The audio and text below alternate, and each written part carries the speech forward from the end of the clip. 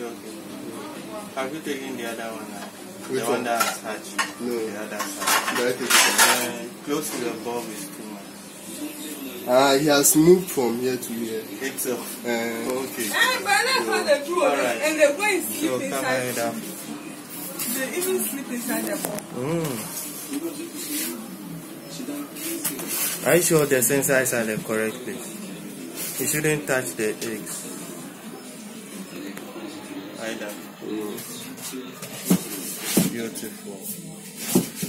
So nice. Yes, so this is a simple incubator done by Prosper. Okay, so with time the temperature is going to increase. We have humidity sensor here, 56% humidity. That's fine. We are already having some hatches.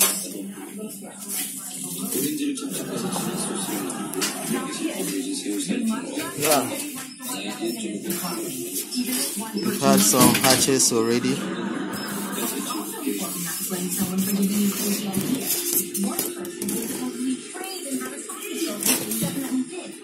Alright.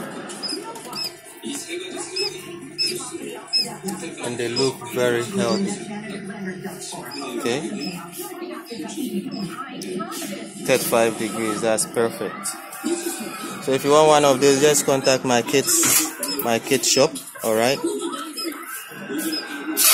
And place your order. Alright.